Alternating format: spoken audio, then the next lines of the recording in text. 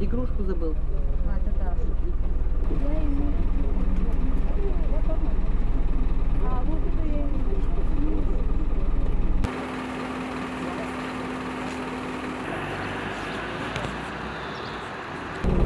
Блин, я прежде всего уже маму, потому что у нее здоровье плохое, подбитое. Я хочу ее увезти, спасти и, и беречь ее от всего этого.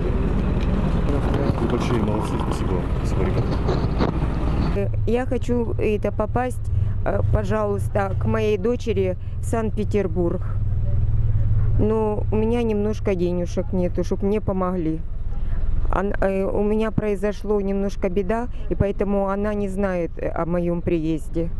Вот. Я хочу доехать до нее и это вместе с ней быть.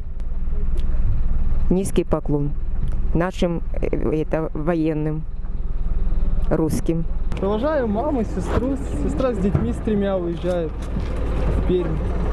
Вот. Э, что рассказать? Ну, надеемся, что все это спокойно пройдет. Доедут. Что ехать далеко. Три дня все-таки там, чтобы на поезд сели, нормально добавили. Вы решили здесь остаться, да? Остаться здесь, в Херсоне, конечно, тут вырос. Я не думаю, что здесь что-то плохое случится. Просто нужно, чтобы кто-то здесь оставался, смотрел за домами.